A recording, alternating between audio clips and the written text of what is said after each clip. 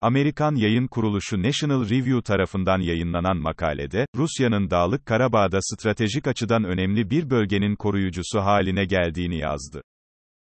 Makalede, Kasım ayında Rusya'nın yabancı bir ülkeden bir parça aldığı belirtildi.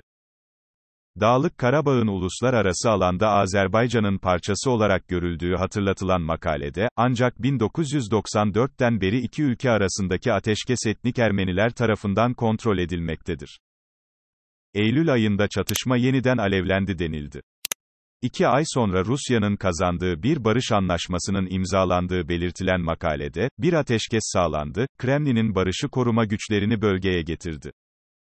Ancak Amerika olanları tembel bir şekilde izledi. Aslında, Amerika barış sürecine tam olarak katılmaya hazır değilse Dağlık Karabağ artık belirsiz bir süre için Rusya'ya ait. Artık Rusya Azerbaycan topraklarına asker getirdiği için, Moskova'nın gücü de ekonomik bir kaldıraç haline geldi. Ermenistan üzerinden Azerbaycan'ın Nahçıvan yerleşim bölgesine askeri olarak bir ulaşım koridoru sağlayarak, Rusya artık Azerbaycan'ın Hazar Denizi'nden Akdeniz ve Avrupa'ya kadar uzun zamandır beklenen doğrudan karayolunu kontrol ediyor. Makaleye göre Batı bunu kesinlikle önceden görmüş olabilir denildi.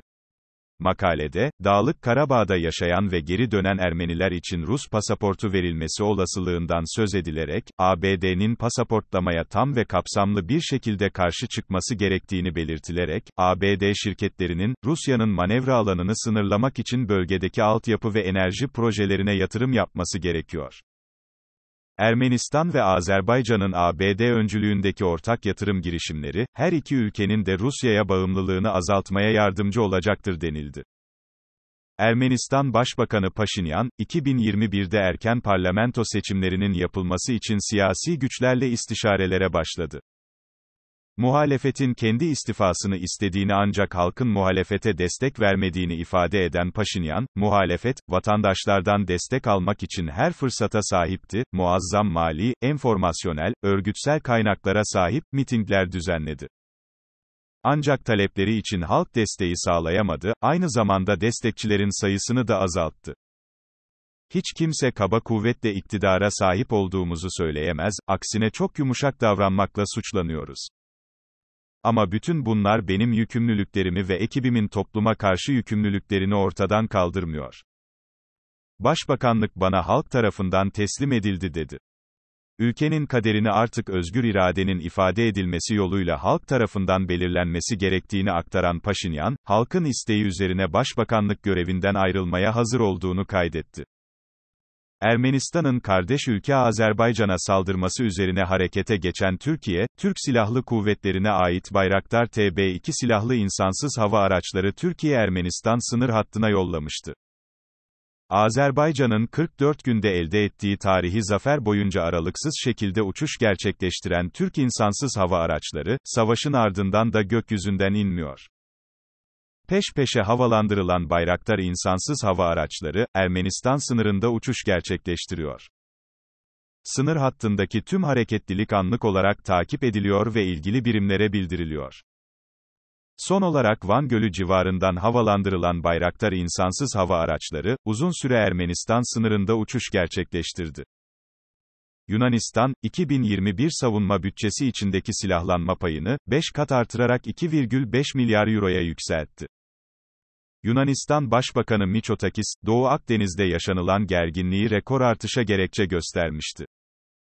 Bu gelişmenin ardından Yunan yetkililer, Fransa'dan Rafael tipi savaş uçağı alımı için de anlaşma imzalamıştı. Yunanistan'ın silahlanma yarışı, Alman basını tarafından değerlendirildi. Yunanistan'ın Türkiye'ye karşı bu yarışı kazanamayacağını belirten Alman yayın organlarında, Türkiye, Yunanistan nüfusunun 8 katı. 2021'deki savunma harcamaları Yunan harcamalarının 4 katı olacak. Havada da Yunanistan dezavantajlı durumda. 189 Yunan savaş uçağına karşı Türkiye'nin 207 savaş uçağı var, ifadelerine yer verdi. Gürcistan parlamentosunun, ülkenin uygulaması gereken dış politikayla ilgili onayladığı karar taslağında Türkiye ile olan stratejik işbirliğinin güçlendirilmesi konusu da yer aldı. Gürcistan parlamentosunda düzenlenen olağanüstü oturumunda onaylanan 16 maddeli karar taslağında, Gürcistan dış politikası, ülkenin yeniden toprak bütünlüğüne kavuşması için gereken adımların atılması, stratejik ortak ülkeler ile ilişkilerin daha da pekiştirilmesi gibi öncelikli konular yer aldı. Ülkenin dış politikasında Abhazya ile Güney Ossetya sorunlarının çözülmesi, buradan göç eden mültecilerin geri dönebilmesi, NATO ve Avrupa Birliği ile tam entegrasyonun sürdürülmesinin en öncelikli konular olduğu belirtilen taslakta, Gürcistan'ın dış politikasının en önemli hedefi, barışçıl yollar ve uluslararası destek ile ülkede işgalin sona ermesi, Gürcistan'ın toprak bütünlüğünün yeniden sağlanması, mülteciler ve ülke içinde yerinden edilmiş kişilerin onurlu bir şekilde geri dönmesidir ifadeleri yer aldı aldı. Ayrıca taslakta, Gürcistan'ın 2024'te Avrupa Birliği'nin tam üye olmak için başvuruda bulunacağı da belirtildi. Karar taslağının 6. maddesinde Gürcistan için Türkiye ve Azerbaycan ile stratejik ortaklığın güçlendirilmesinin öncelikli olduğu kaydedildi. Taslakta, Gürcistan, etkili ve dengeli bir bölgesel politika izleyerek, Karadeniz bölgesinde barış, güvenlik ve istikrarı sağlamayı ve sosyal ekonomik ve kültürel bağları güçlendirmeyi amaçlamaktadır, ifadelerine yer verildi. Kuzey Kıbrıs Türk Cumhuriyeti Cumhurbaşkanı Ersin Tatar, Bayrak Radyo Televizyon Kurumu'nun 57. kuruluş yıl dönümü münasebetiyle kurumu ziyaret etti ve canlı yayında gündeme ilişkin soruları yanıtladı. Kıbrıs meselesi ve Maraş açılımı konularına da değinen Tatar, Maraş açılımının Kıbrıs görüşmeleri konusunda ezber bozacağını ve açılımın ülke geleceği için önemli bir adım olduğunu vurguladı. Tatar, 8 Ekim'de bir bölümü açılan kapalı Maraş'ı binlerce kişinin ziyaret ettiğini ifade ederek, bölge bölge, askeri bölgeden sivilleştirme ve iadeler söz konusu olacaktır. Maraş'ın açılması çok iyi oldu ve 2020 yılına damga vurdu. 2020'de Türkiye'nin de desteğiyle önemli bir hamle olarak kayıtlara geçti. Şu an açtığımız sahildir, kamu alanıdır, özel mülke dokunmadık. Artık Maraş'a açık bölge olarak bakabiliriz ifadesini kullandı.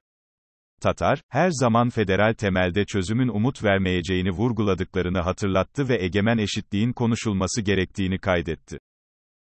Ukrayna Devlet Başkanı Zelenski, Focus Medya kuruluşuna verdiği röportajda, Rusya'nın Kırım'dan ülkesine saldırması durumunda çok kötü bir durumun ortaya çıkacağını belirtti. Bu ihtimale karşı olduğunu ve bunu hayal dahi etmek istemediğini ifade eden Zelenski, umalım ki bu mümkün olmasın. Yoksa çok büyük bir savaş olur. Biz hiçbir yere ayrılmayacağız, hepimiz savaşacağız.